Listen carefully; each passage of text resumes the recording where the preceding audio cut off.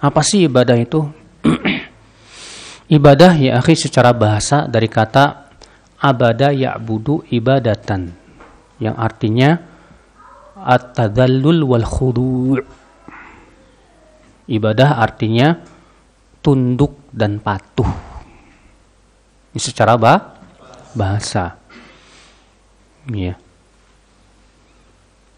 adapun secara istilah para ulama ya ungkapan tentang ibadah itu berbeda-beda. Yang paling bagus adalah definisi Syekhul Islam Taimiyah rahimahullah tentang ibadah. Beliau mengatakan al-ibadatu ismun jami'un likulli ma yuhibbuhu Allah wa yardah min al-aqwali wal af'ali adh-dhahirah wal batinah. Ibadah itu adalah nama yang mencakup apa? Yang mencakup seluruh yang Allah cintai dan ridhai. Jadi ibadah itu apa? Nama yang mencakup seluruh apa yang Allah cintai dan ridhai. Berupa apa? Perkataan dan perbuatan. Al-zahirah yang tampak maupun yang tersembunyi. Ya, yang lahiriah maupun yang batin. Saya ulangi lagi, apa itu makna ibadah? Nama yang mencakup semua yang Allah cintai dan ridhai. Taib ya akhi, pertanyaannya adalah dari mana kita tahu sesuatu itu dicintai oleh Allah dan diridhai oleh Allah? Hmm? Dari mana kita tahu bahwa suatu perbuatan atau perkataan itu atau per, ya perbuatan manusia itu dicintai dan diridhoi oleh Allah. Dari mana kita tahu? Hah? Ya, harus melalui wahyu. Karena kita nggak tahu ini sesuatu yang Allah cintai, ini Allah ridhoi kalau bukan dari wah, wahyu. Sedangkan yang mendapatkan wahyu siapa? Ada nggak ya manusia di zaman sekarang yang dapat wahyu?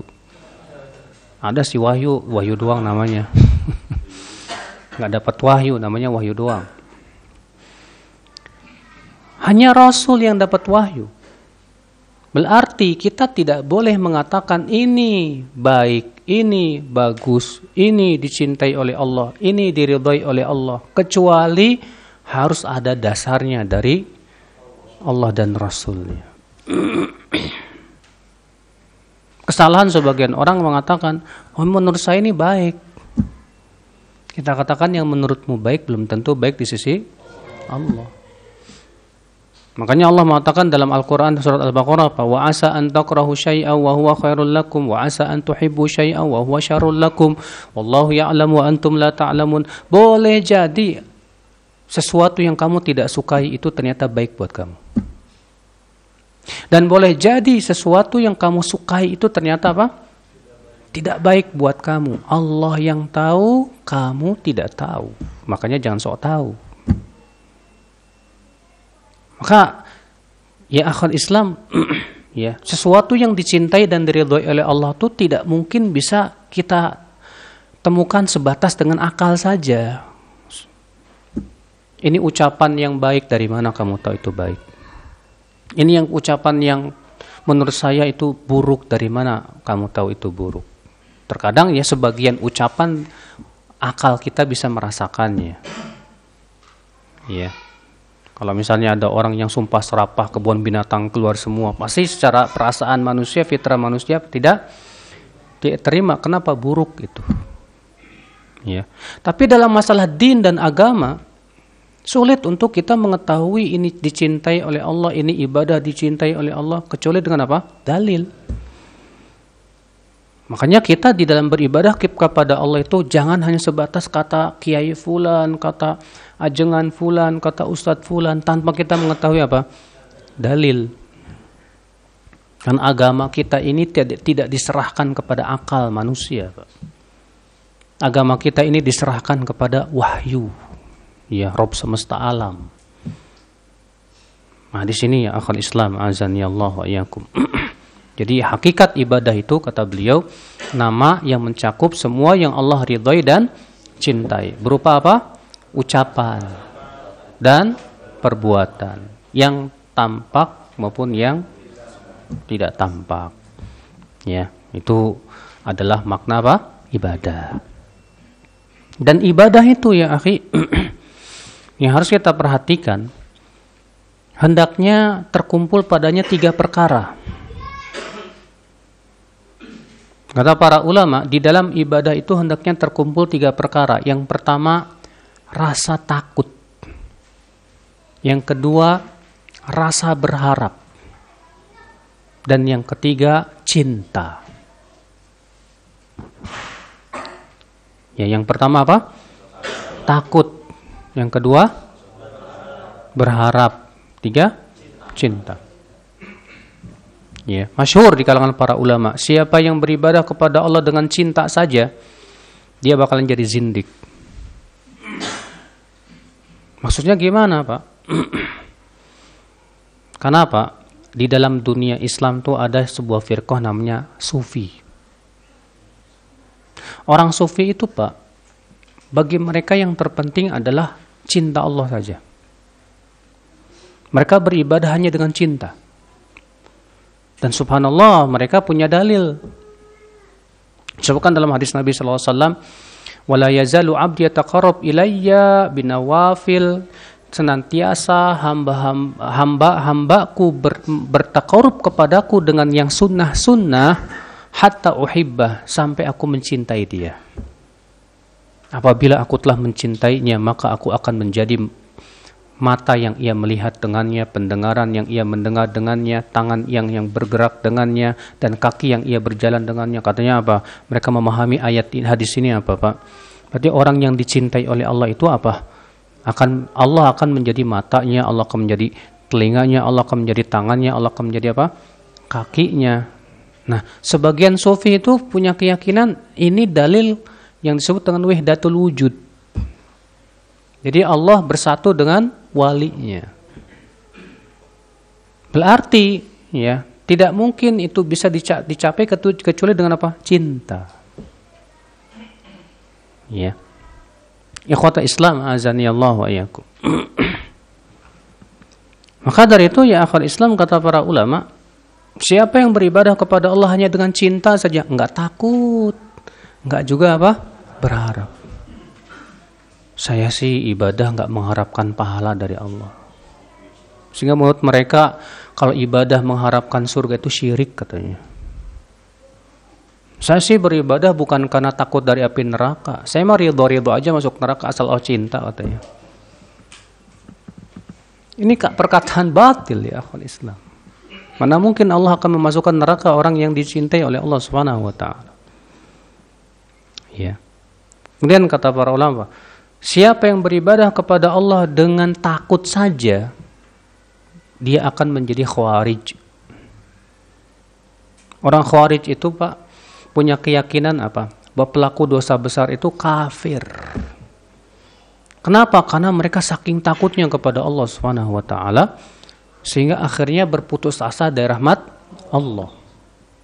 Akibatnya mereka menganggap bahwa orang yang melakukan dosa besar kafir orang yang berzina kafir murtad dari agama Islam, orang yang makan riba kafir, orang yang bahkan berdusta sekali aja kafir, halal darahnya. Nah ini orang apa? Khawarij.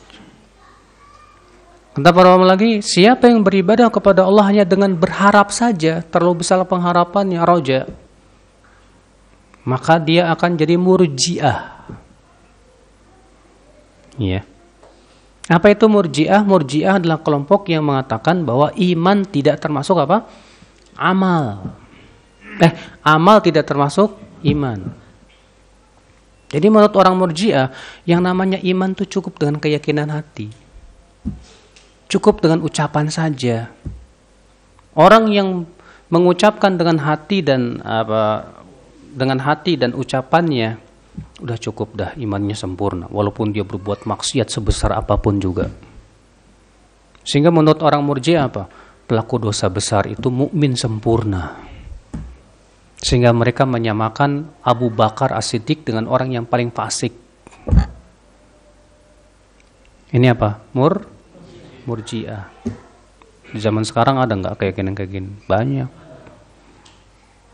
Ya kalau pernah dengar ada perempuan bilang, saya sih walaupun nggak pakai jilbab, tapi hati saya dijilbabin. ya. Yang ya. Maka seperti Ustadz Salim tuh beliau berkata apa? Bilang tuh ke perempuan kayak gitu tuh. Nanti kalau kamu mati saya nggak mau nggak mau kapanin kamu. Tuh kenapa? Soalnya kapanmu sudah ada di hatimu selesai. kalau kamu nggak mau pakai jilbab dengan dengan alasan jilbab saya sudah ada di hati saya, ya udah kapanmu di hati kamu udah telanjang aja udah sono. Ini akhul Islam. Jadi mereka menganggap yang penting hatinya baik.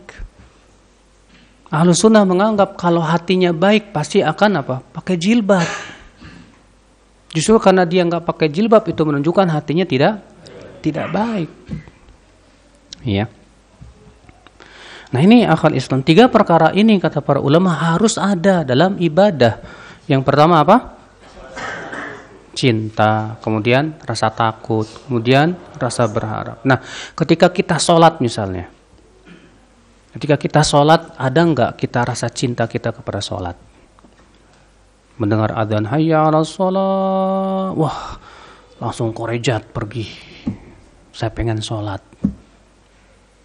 Ada nggak di hati kita ketika sholat itu takut nggak diterima sama Allah, saya harus bisa khusyuk Berarti ada rasa takut.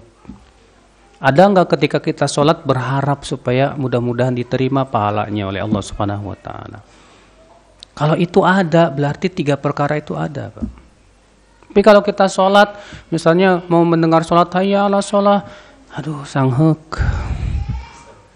Ya, mau pergi sholat, males. Kenapa? Karena nggak ada rasa cinta kepada sholat.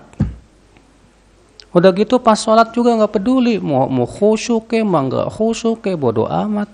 Yang penting saya sholat. Berarti dia nggak ada rasa takut sama Allah. Dia juga tidak mengharapkan pahala. Berarti dia hakikatnya belum sempurna ibadahnya itu. Ya. Maka dari itu ya akhir Islam azani Allah. Jadi ibadah ini harus terpenuhi padanya apa? Tiga perkara tadi. ya. Kemudian Syekhul Islam Taimiyah juga menyebutkan bahwa rukun ibadah itu ada dua. Yang pertama yaitu ya ada tiga ya. Yang pertama yaitu cinta. Yang kedua yaitu tunduk. Dan yang ketiga yaitu ta'zim, mengagungkan. Tunduk, cinta, dan apa? Mengagungkan. Sekarang Pak kalau ada orang yang mengatakan saya cinta Allah tapi nggak mau patuh, kira-kira ibadah nggak?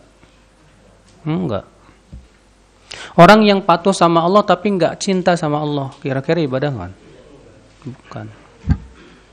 Maka tidak akan terpenuhi ibadah kecuali dengan tiga atau dua tadi. Cinta disertai dengan rasa apa? Ketundukan yang sempurna kepada Allah Subhanahu wa taala. Itu ibadah, ya.